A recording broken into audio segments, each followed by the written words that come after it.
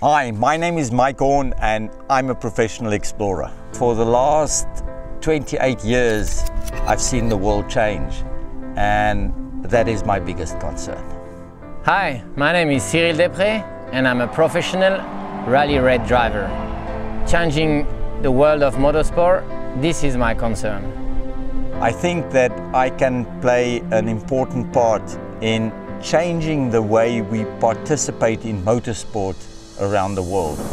For me, to conserve the planet, to be able to leave a future to the younger generation is one of my life missions. Well, after 20 years racing uh, motorsport, I think it's time to change it and to make it more sustainable. To be able to freely participate with a zero or very low carbon impact is one of Cyril and myself, maybe life ambition.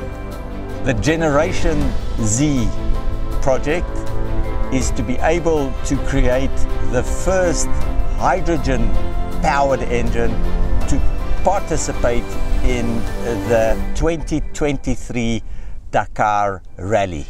To develop GEN-Z, we need basically a lot of data. And why we are here to participate to the next Dakar 2021 is to compete in a racing car to get as much information to build the next generation of rally raid car.